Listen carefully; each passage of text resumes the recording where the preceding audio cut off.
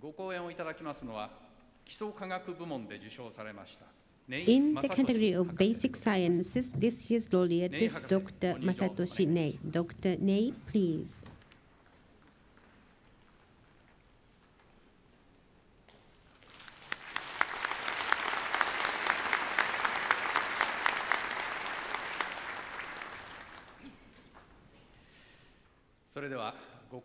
Prior to having his lecture, let's introduce to you the profile of Dr. Nei. Could you please look at the screen?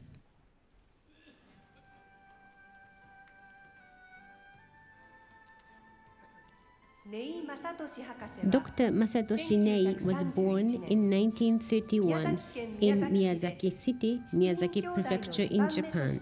He was a second child of seven for his family. This picture was taken when Doctor was second grade at elementary school.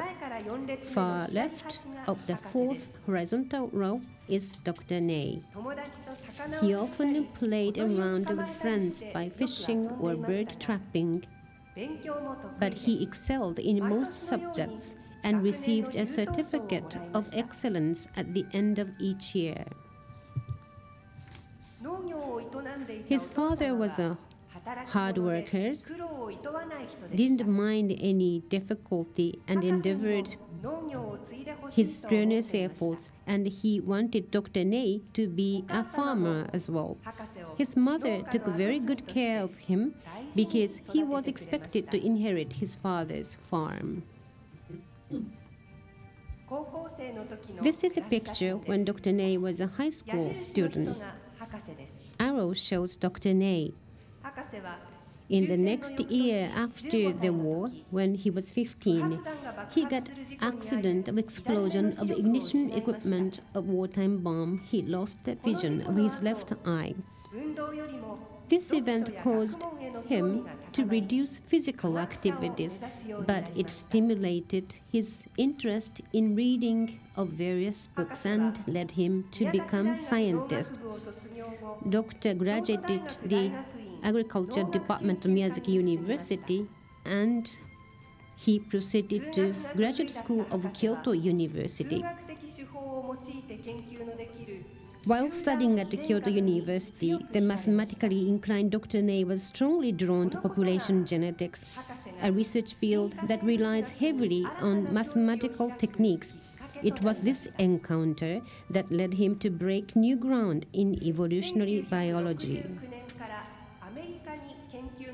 In 1969, Doctor moved his research base to United States of America, and in 1972, he presented the paper of Nei's genetic distance. This was the analysis based on statistical method to measure genetic difference in biological populations and species it allows to estimate how long ago different biological populations branched off from the common ancestors. Doctor utilized this and conclude that early Africans and other groups diverged from the, our common human ancestors about 115,000 years ago, and that the latter then branched again to form Asian and European populations about 55,000 years ago. This provided an important clue to reinforce the theory that our human ancestors originated on the African continent and then spread around the globe. Further, from the molecular levels of data, his group developed the neighbor joining method for constructing molecular evolutionary phylogenetic trees. This method has since been used extensively by many researchers, not only in evolutionary biology, but also in conservation biology and ecology.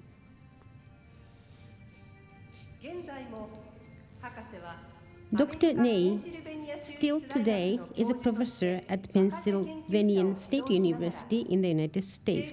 He is teaching the young researchers and jointly continue to elucidate the mystery of evolutionary process. Doctors gave the advice to younger people It's important to question any dogma and develop new interpretation of any scientific findings. Use a ton of common sense. This is Dr. Nei's family with his sons and daughters' families together. Doctor recalls his nine year stay in Kyoto when he was learning at the Kyoto University. He says Kyoto is an old city, but it has generated new spirits.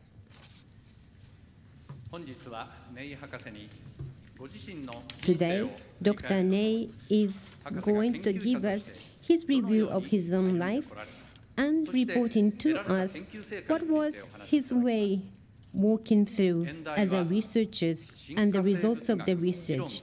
And the title says Theory and Reality of Evolutionary Biology. Now, Dr. Nei, please.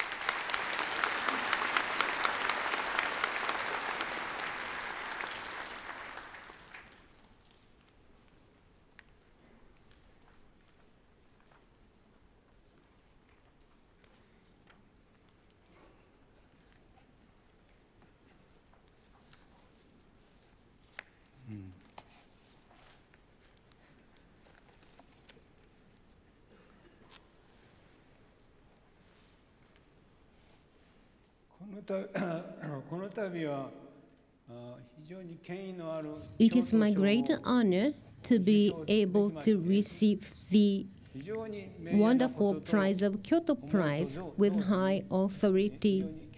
I feel privileged and I feel humbled indeed. Today, I've given the good opportunity to review my own life, what kind of research I have done. I would like to go through it with you. First of all, let me talk about my childhood and what was the university education. Let me start. I was born in a very prosperous family of liquor making business in a small village of Miyazaki Prefecture of Japan called Nakamura, 15 kilometers from Miyazaki City. That was the countryside. Liquor in that area is called shochu. So shochu making a business was my family business. It used to be that prosperous at one time. However, Great Depression started in the United States. That wave also reached Japan, and we got depression in Japan. So our family went bankrupt for liquor making a business because my grandfather used the credit system for selling the shochu or liquor to many clients.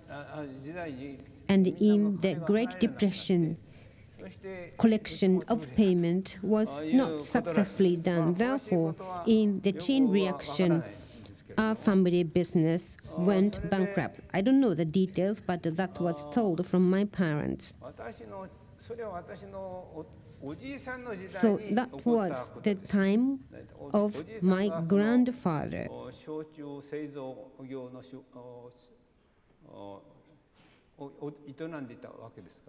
My grandfather was running the business of liquor making and then went bankrupt. Then my father had just a little bit of area of land and my father started farming.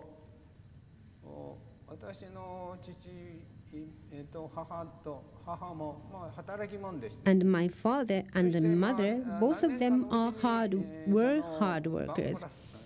In several years after the bankruptcy, they have retained much of the land which was sold during the Depression. In fact, I had one brother and six sisters. And actually, I was the second child. I had a younger brother. However, at three years old, he died because of dysentery, because we didn't have the antibiotics. Therefore, he suffered and died. Therefore, I was the eldest son, and I was, in a way, destined, usually, to succeed the family land. Therefore, my father tried to make me to become farmer as well and my mother took very good care of me, maybe too much good care of me, because I was the only son and I was expected to inherit the family. So those were the memories of the childhood. Having said that, bankruptcy was a bankruptcy. However, in the countryside, we didn't have so much of problems because there are lots of foods available to us. We went fishing in the, the river, or we had a lot of fun with friends, bird trapping, or making toys with twigs and so on. I enjoyed my life. I don't recall so much of the difficulties in life. And then I reached the age to enter the elementary school. In my days of elementary school, perhaps I was not blessed with the affluence. Surely not. However, in those days, the nationally censored textbook was used in the classrooms. I studied very well at schools. However, at home, my father and mother didn't give me any other journals or supplementary textbooks because they didn't expect me to be a scholar. So therefore, I was purely grown only with the censored textbook by national government of Japan in those days. But I was good at academic subjects, always received the certificate of excellence in each year. Therefore, I was enjoying learning, but my father didn't give me the training to study harder. However, I was not a bad student at school. And then Japan-China war broke up. Now, even today, many Japanese may not have the good idea. Japan-China war was the name for the Japanese army's invasion into China. That started the war, and then many men were drafted, including my own uncle. He was drafted, mobilized to China, and died in the war. And then gradually the war got much more fierce stage and that expanded to the World War II finally. That was 1941. Then the school education has the much more stronger color of the military color. You should live for country. You should dedicate your lives for the sake of the eternity of country of Japan. In those days, well, I would like to show you the picture with my father when I was a very small kid. But at the time of the World War II, this picture was already shown, though. You might be able to notice all the students have barefoot, no shoes. Why? What was the reason? Well, during the wartime, we had a shortage of rubber. Therefore, nobody was able to get shoes. Shoes were not allowed. Well, only exception was for winter. Well, Miyazaki is located in the southern part of Japan, so therefore it's warmer. But on the road when I walked on the gravels, the stones, I still remember the pain on the soul. Now, let me move on to 1945. Most of the Japanese cities were bombed and burned, including city of Miyazaki. I was living in the village 15 kilometers away of Miyazaki city, so I had to watch the flare of fire after the bomb. I will remember those. But unexpectedly, that bomb attack just happened in our village. It was a mystery why bombing was given to the rural countryside. Well, in retrospect, Miyazaki was located at the shallow shelf of the seabed. That means that that was the right good target for American force to land into Japan. So therefore, that was reported to be the first target.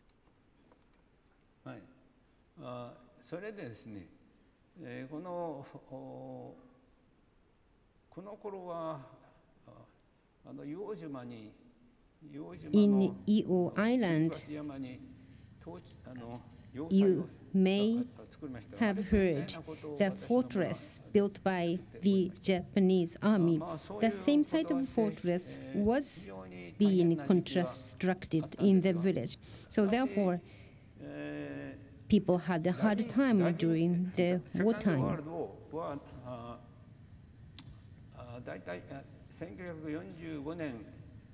But on August the 15th, 1945, World War II suddenly ended with the declaration of the defeat by Japanese emperor. Well, many Japanese were shocked, but I felt somewhat relieved because if this war lasted one more month, probably I wouldn't have been here. Probably I would have been dead because I was living in the targeted area by the US force. So I was lucky because it saved my life.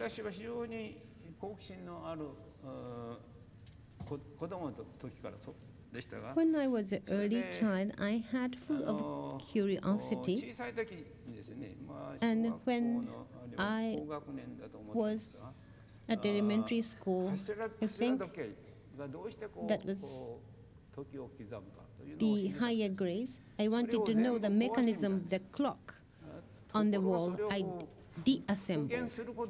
However, not managed to reassemble. So I was heavily scolded by my parents. And also, in the barn, there was a rope making machine. I found that machine. And what's the mechanism of making rope in the excellent way? I was investigating that machine, and then all of a sudden, my pointing finger was cut with that machine. And four or five years I suffered from the serious scar. But the largest accident was the explosion of an ignition equipment for a wartime bomb that attacked my left eye.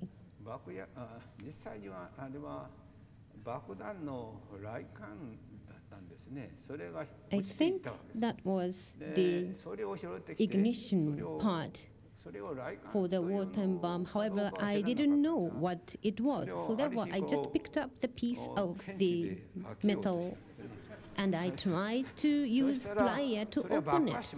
And then all of a sudden it exploded in my hands. Not large explosion, but I got the injury onto my face when I noticed the metal piece stuck into the pupils of my left eye. So I got lost the left eye sight. My father was upset and took me to the city of Miyazaki, the veterinary eye clinic. And then he said, well, well, your son should stay for one month at my clinic and then it will be cured. And we believed it. And I stayed there for about a month, but in the end, it was not cured. So I don't have any sight on my left eye.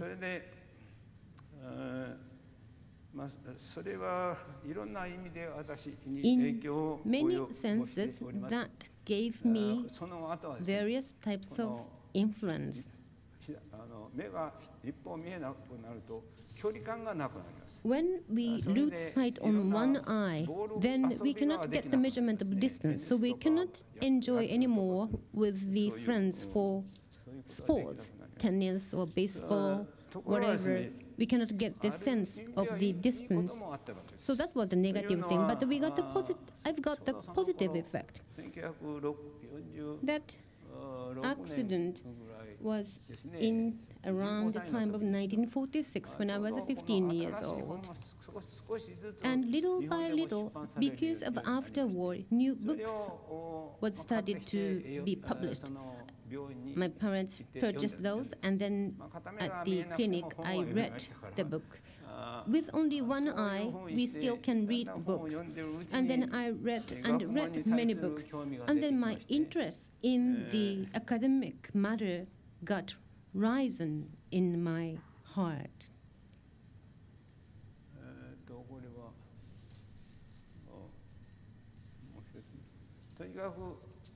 Anyway, what? I want to return to the previous one. It seems to me that uh, I'm always pursuing the theory and not practical. I'm sorry. Oh, it's not returned into the original state, sorry. What?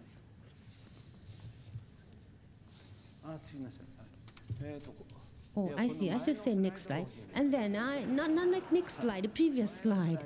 That's the one that I want to get. One more. Ah, yes, yes, thank you. So after this explosion accident, this stimulated my academic activities.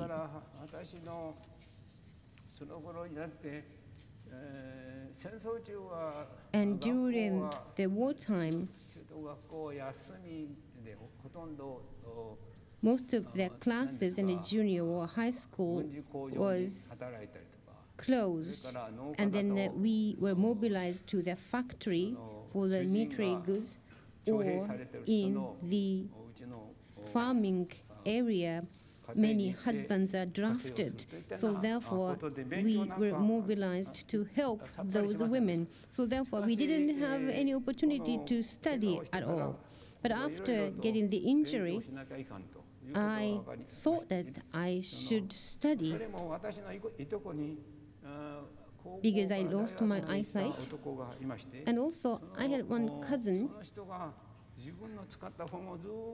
and that cousin, was much senior to me, have left many books before the war, and I read those.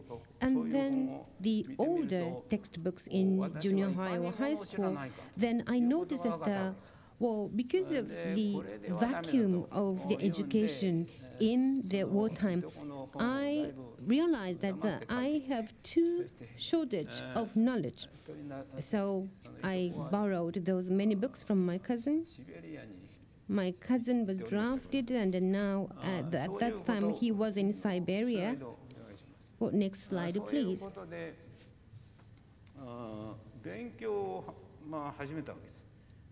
Anyway, that's the triggering event, and I started to study rather seriously.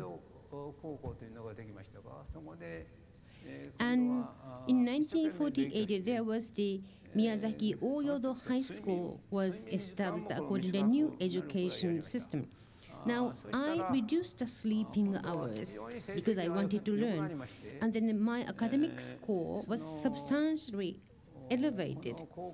I was regarded as the brightest student. I was number one in the classroom at that high school. And then there was a test to measure the appropriateness, that is the ATC version of Japan.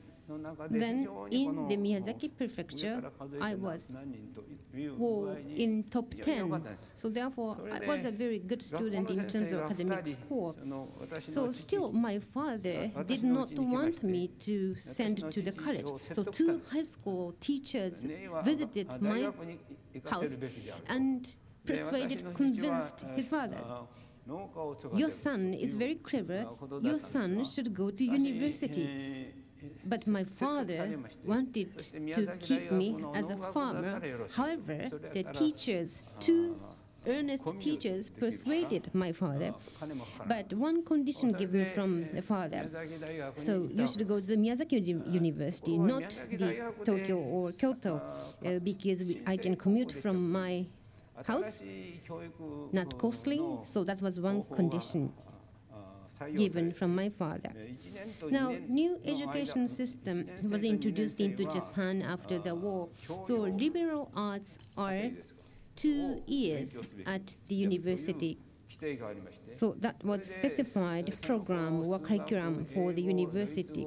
It was good because German language and uh, English, Japanese, no, Japanese was not because that was in Japan. Chemistry, mathematics, laws, many things in liberal arts included. And then uh, I got the various kinds of interest, but especially mathematics and physics were the good subjects I liked during the high school.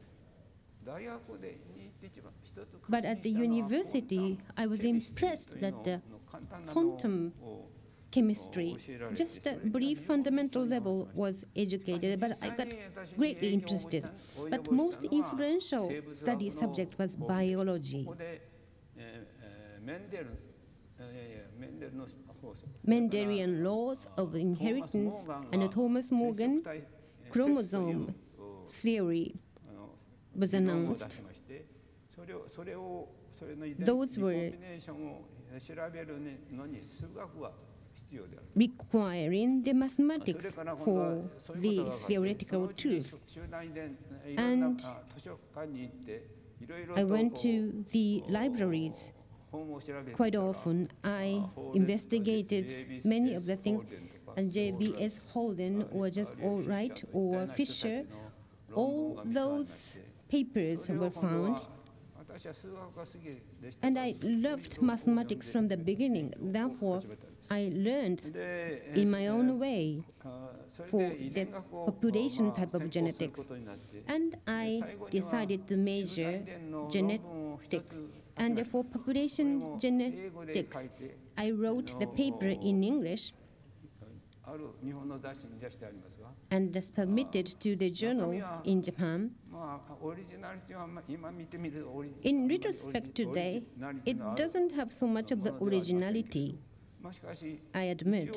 But the will or wish was generated. I can see.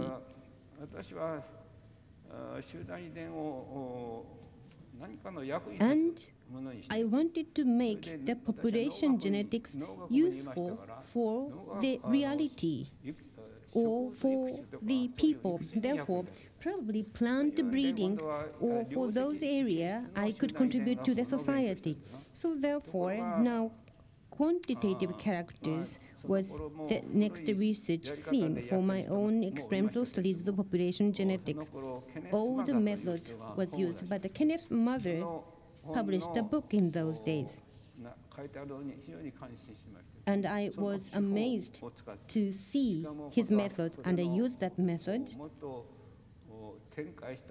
And also, further developed theory was made. And at the Kyoto University, taking three or four years, because I got the assistants together with me, so we wrote the paper. However, after writing up the paper, I was not satisfied somehow. Population genetics quantitative characters that's certainly influenced by environment. Therefore, in order to investigate the evolutionary process, we have to catch genes. So that's the clear message given to me. That was a good lesson. And for the later part of my life. Let me move on to the next slide. Well, this is the picture taken recently, sorry. Not so much different in terms of look from outside. Next, please.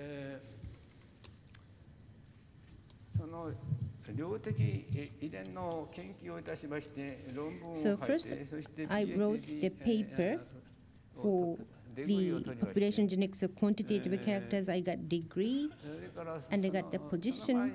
Eh,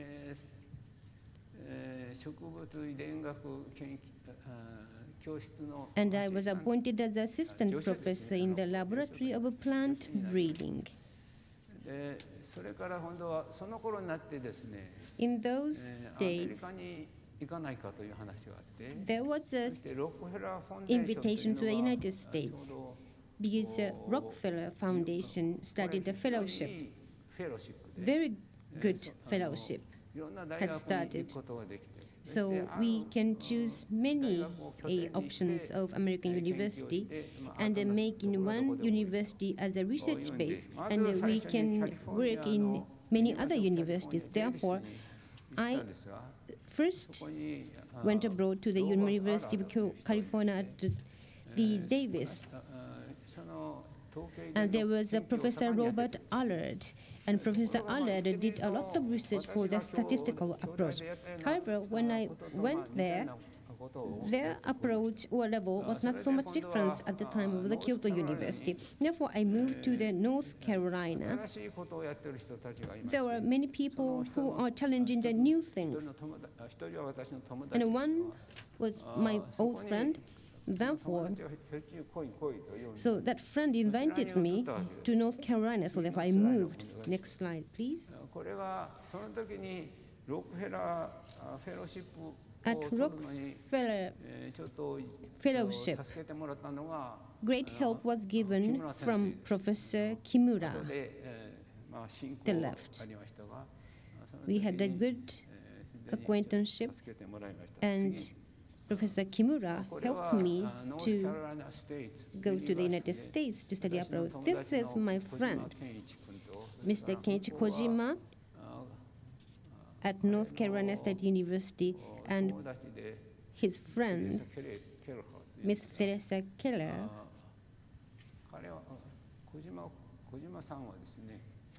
Mr. Kojima was already associate professor there, so he was promoted much higher speed.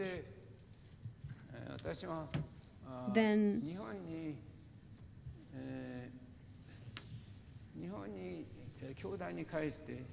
I came back to Kyoto University and I wondered what next should I do because American ways and Japanese ways are quite different. Well, in America, pioneering spirit is very much cherished and regarded as an important thing for doing research in any of the research allowed. Even in the applied science department, they were able to do the basic research. For example, at the Cornell University, for plant breeding laboratory, they produced two Nobel Prize laureates. Like these examples, pioneering spirit was prioritized. And that's what we need to do in our research in this field. And so I, well, I decided to uh, go back to the United States later, but uh, in 1963 I married, and in 1967 I published a very interesting paper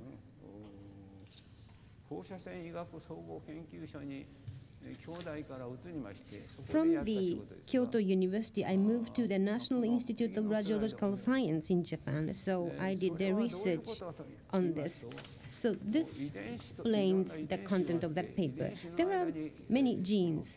In between genes, interaction is the factor with the interaction stronger, then they get together stronger. So if we miss those, they will be scattered around.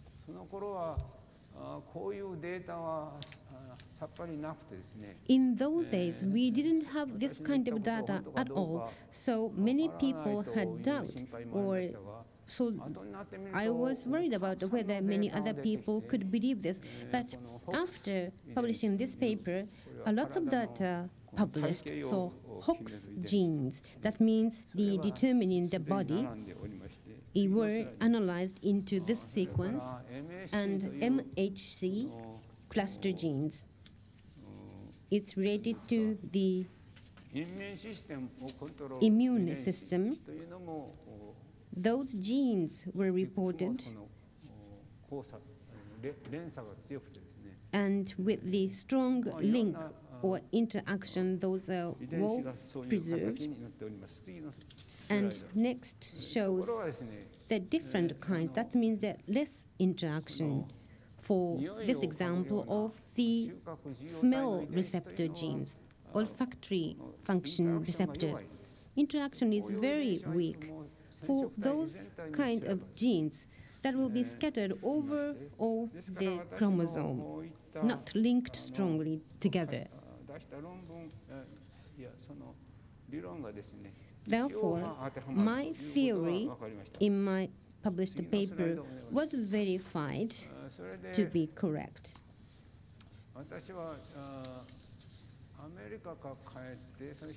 I came back from the United States and moved to the National Institute of Radiological Science. And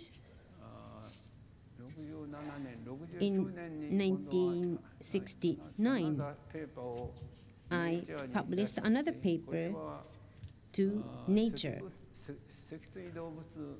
That paper predicted the presence of many duplicate genes and pseudogenes in vertebrates.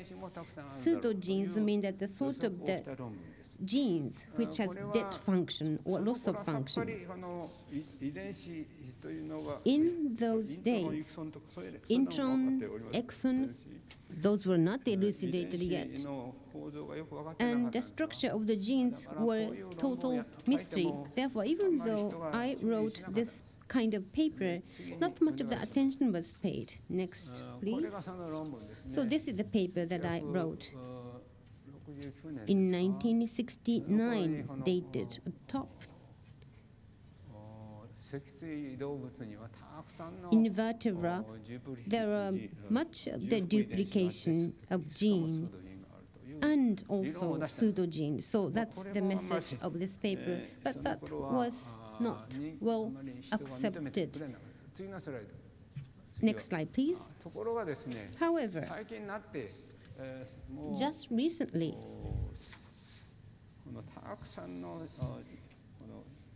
many, many duplicated genes were found and also pseudogenes are as many as in numbers of the functional genes in the genome. So what I predicted is verified to be correct, but probably too early, I wonder. Not so much of attention was given to my finding.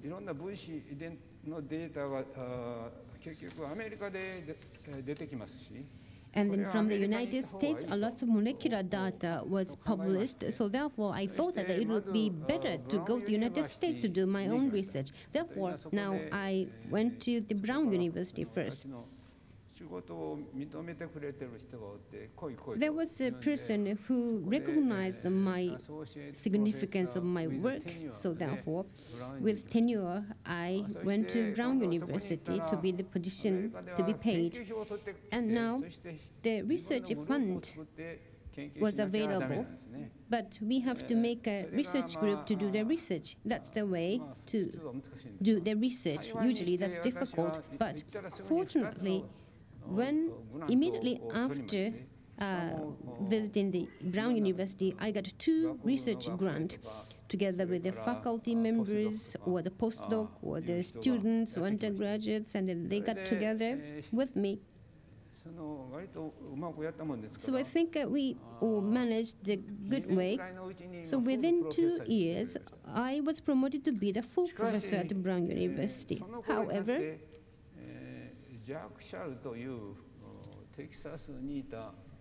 uh, Dr. Jack Schull, well, he was doing the research, what was planning to go to the Texas, and then he wanted to establish the center for the population genetics. Uh, he told me to come with me, come with me. So therefore, that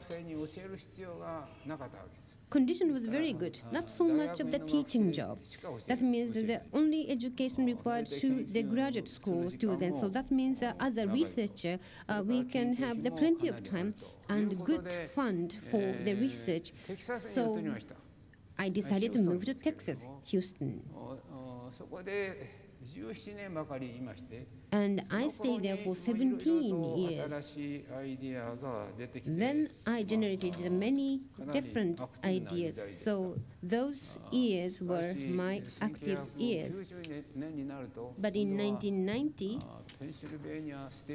now Penn State University, uh, Dr. Bob Allard, who was a friend, said to me, Dr. Nei, now molecular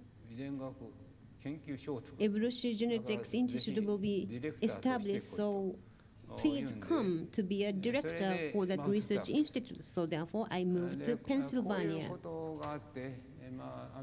So those were the events in my life. So even in the United States, I moved around. Next slide, please.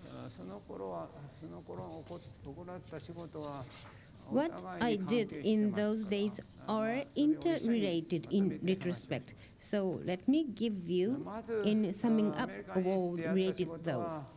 What I have done in the United States is the molecular evolution. That's one aspect of my research achievements. In 1972, I published the original paper of genetic distance. That means the paper published in 71 was revised. But this 72 version is usually called genetic distance of the Nei's distance. Of course, there were various kinds of distance. However, when we try to combine with the evolution, it did not work away. Usually looking at the geometrical aspect and so, but I made our, my own genetic distance. And related to that, I made the sampling errors determination and so on. But I think with this paper, I think this was the first paper with which I attracted attention from other researchers and invested DNA and so on. But in those days, neutral theory was published by Professor Kimura, and debate in the scientific field took place because in the United States, the scientists for the evolution used the morphological phenotype like molecular evolution, morphology is different, not related to time. So that was the debate in those days. And I read many accounts of the Margoliash paper read. Therefore, I knew the element of the molecular evolution. Therefore, I supported this neutral explanation of the protein polymorphism. And anyway, we have to prove with data. Just building up the theory, nobody will listen to. In biology, we should collect data and show to be verified. So that's the belief that I adhere to. And I wrote a paper on the numbers of synonymous and non-synonymous nucleotide substitution. That means the nucleotide not changing the form of the protein, or the other one is making the change of the protein, so synonymous and non-synonymous, and I calculated the probability of those. Then later, this paper became quite often cited by many researchers because natural selection can be well explained by this theory. Now, I also studied the human evolution in 1974 as written here. What I did here was related to the human beings, Caucasian, Orientals, or Europeans. So those are the mainly speaking the three major races. So what's the difference? So that's what I investigated. Next, please. Well, before touching upon the human beings, this was the research done for the polymorphism of gene, whether that's neutral or not. So that was tested. Allele frequencies were researched and the neutrality is supported. Next, please.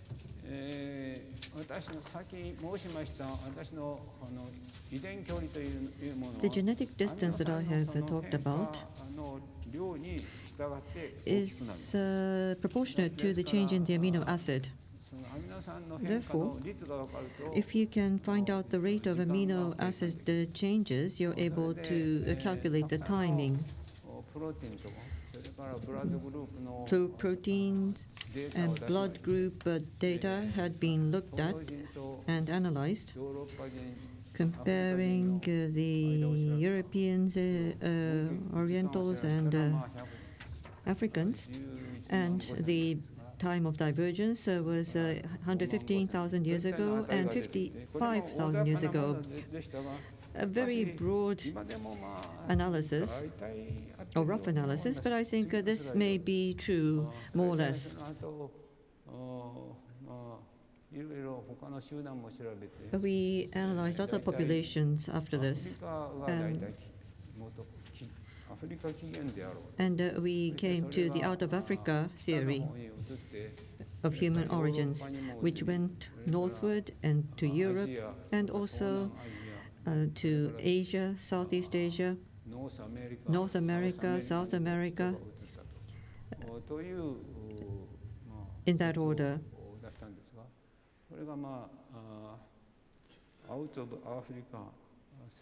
So this is the out of Africa theory of human origins.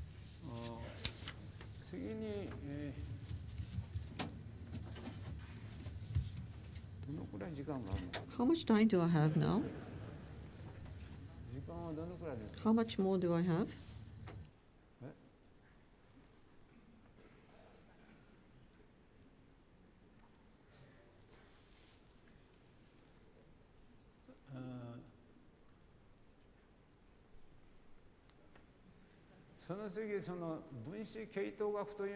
So I took interest in uh, molecular phylogenetics. In 1972, I came up with the uh, phylogenetic uh, genetic tree of uh, Drosophila utilizing a method called UPGMA, but this was not successful.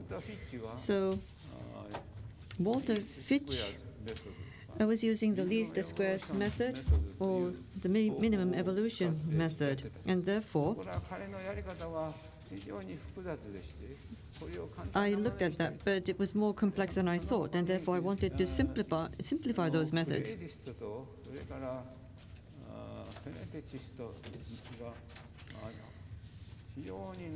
In addition to that, uh, uh, the predecessors were fighting with the cladists were fighting with the fanatics. I was much criticized, but at the same time, Naruya Saitou and I came up with the so-called neighbor joining method.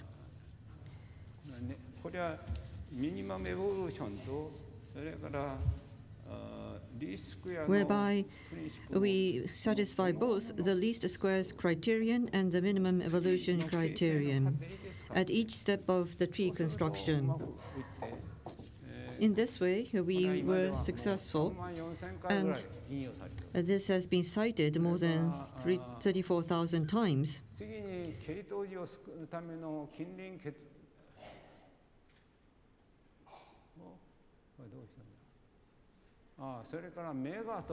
And we also worked on mega.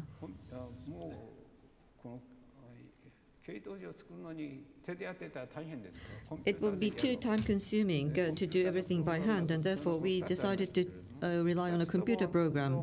There were two major computer programs available at that time, but they were not so useful. And therefore, we wanted to have something that uh, makes the calculation much easier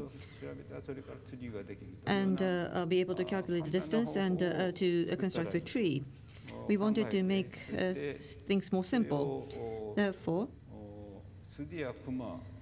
Sudhir Kumar, who was a student at that time, and postdoc fellow, Koichiro Tamura, and I decided to come up with a new computer program package, which was, as you see in the next slide, completed. Using the neighbor joining method, uh, humans, chimpanzee, gorilla, orang, orangutan, all of these uh, relationships that can be uh, identified. And the final product, the Mega, was released. This was the first version. Made basically based on my idea. I wrote up uh, the uh, text and uh, thought about uh, what to put in. But the program actually it was uh, made by Sudhir Kumar and Koichiro Tamura which is cited uh, very frequently nowadays. Next slide, please. From that time period, uh, I uh, became interested in why phenotypic evolution takes place the not interested in the height of the phenotypes, uh, but uh, I was uh, more interested in the genes. Therefore, I looked at various genes. For example, olfactory receptor genes, cystone, uh, histone genes, ubiquitin genes, and as you see in the next slide, there were things happening uh, different from what used to be said.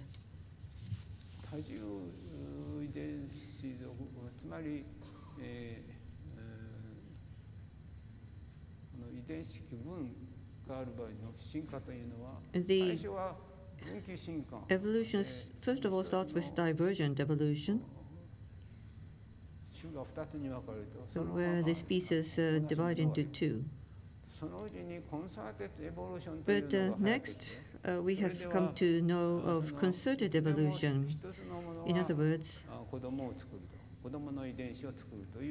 one species would uh, have offsprings and uh, there would be natural selection more or less under this concept. But there was also something called birth and death evolution, which used, seems to be most reasonably fitting the model, and therefore genes would die often, and the new genes would be created by duplication. And that is uh, uh, the process of evolution, as we found out. Next slide, please. それでそれからですね今度はこの全部はニュートラルじゃなくてですね Not everything is neutral. In certain genetic uh, loci, there was over-dominant selection. According to our finding. Moving to the next slide. I have uh, written this paper together with Austin Hughes, carried in Nature, and MHC, Major Histocompatibility Complex, is uh, very polymorphic, and uh, there may be 102 or 200 alleles. And uh, there was much discussion as to why discussion went on for 30 years or so. When, I, when we wrote this paper, the conclusion was that there probably was overdominance. Others worked on various other organisms and they more or less came to the same conclusion as us. So, based on that,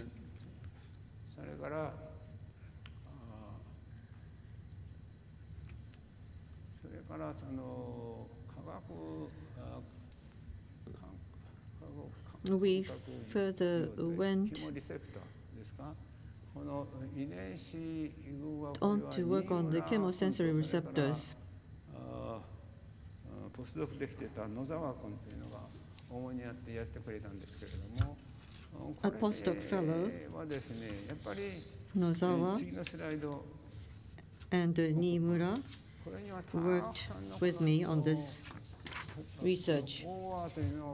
OR is olfactory receptor, but uh, in parentheses is the pseudogenes. So the numbers of functional genes and also in parentheses the pseudogenes. So uh, many genes have died, but uh, they still are left in the population. So they don't have to be, they don't have to disappear. There is a pheromone and taste, immunoglobulin. Once again, uh, the same can be said of the number of functional genes and pseudogenes. There seems to be much flexibility. Please go to next slide. Uh, uh, uh,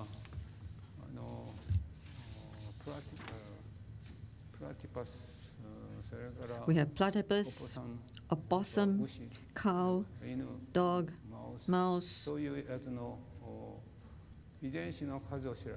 looking at the number of genes and how many genes the ancestors had. So if you trace back, uh, you are able to see that the numbers change dramatically. So we don't, we shouldn't think in a fixed way. We should think more flexibly, as we can learn from this.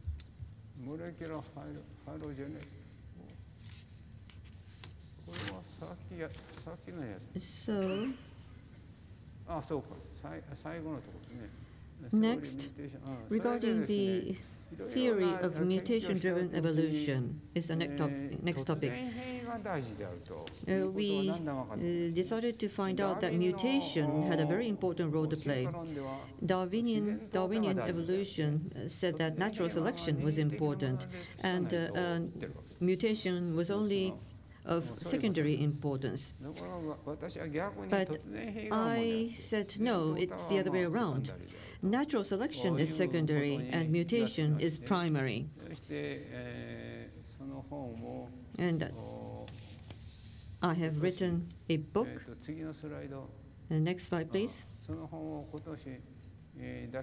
Uh, I published the book this year.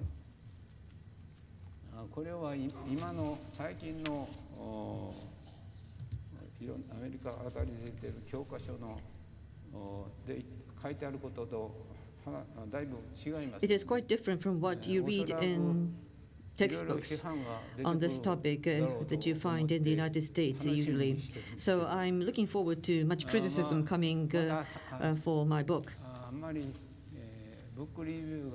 But uh, we haven't had so many book reviews so far, so the uh, harsh criticisms are bound to come from now on, I'm sure. But I don't care what people think. I still think that this is true.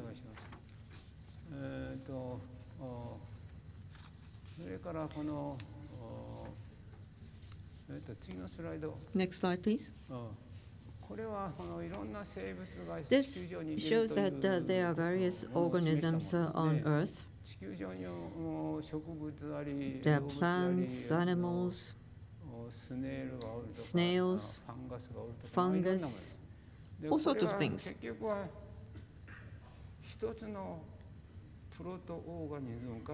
It all started with one proto-organism which evolved, which was that what Charles Darwin said. So that's his great achievement. He said that all sorts of organisms has evolved from one proto-organism. It was they were not made by God. It's easy to say that things were made, living organisms were made by God because you don't need to explain things when that was the answer. But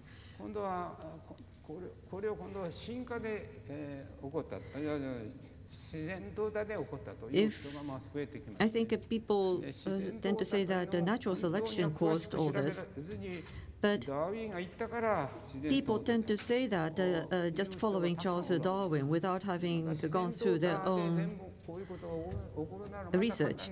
Of course, it's easy to say that things occurred based on natural selection uh, because you, once again, don't need any explanation. The answer is that natural selection caused all this.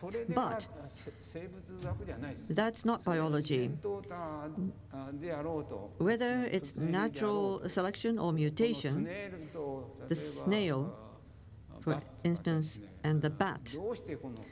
Why would they look so different from each other? You need to explain that why part. Biology, even today, is not successful in explaining this difference. Next slide. This is a human eye and uh, the eye of the Drosophila.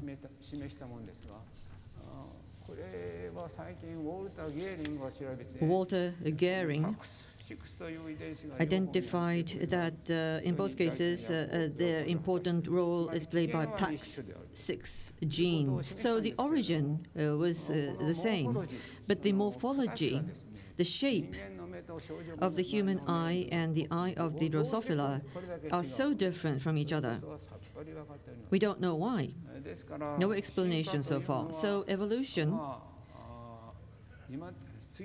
the next slide, please.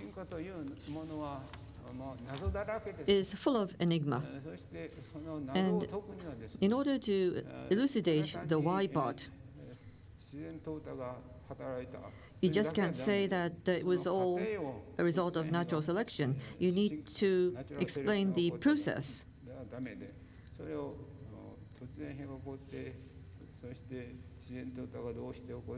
why mutation occurred, why natural selection uh, occurred, why nucleotide substitution occurred with mutation, etc., etc. Uh, many, many things that need to be explained.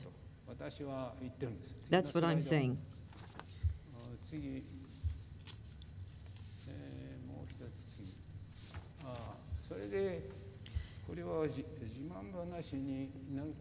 I don't mean to boast, but my papers, fortunately, have been cited by many people. When I made this uh, copy, there were 182,000 citations altogether. The neighbor joining method uh, leads with uh, 34,000 citations. Also, MEGA program uh, has become more popular in citation. But other than that, molecular evolutionary genetics, the book, has also been cited.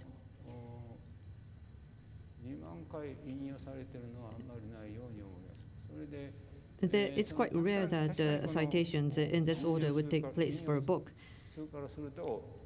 So perhaps uh, I have surpassed uh, Charles Darwin in terms of numbers of citations, but of course, uh, not many people cite Charles Darwin anyway, because we all know what he did. So Charles Darwin uh, probably uh, has uh, made much, much greater achievements compared with myself, I'm sure. I have been working on many different things. And uh, that was possible only of, because I had these collaborators of graduate students, postdoctoral scholars, and senior collaborators. Close to 70 people worked together with me as collaborators. These people allowed me to do what I did. I'm very grateful. One advantage of being in the United States is that uh, many people come from different uh, uh, countries, not only Americans, but Australian, uh, Swedish people, Finnish people, Japanese, Chinese. People come from different countries. Um, many excellent researchers gather in the United States, which is a benefit of uh, being in the United States. This slide was taken at the party. As you can see here, we have uh, Australian, uh, Russian, American, Chinese, Japanese. Many nationalities are represented here.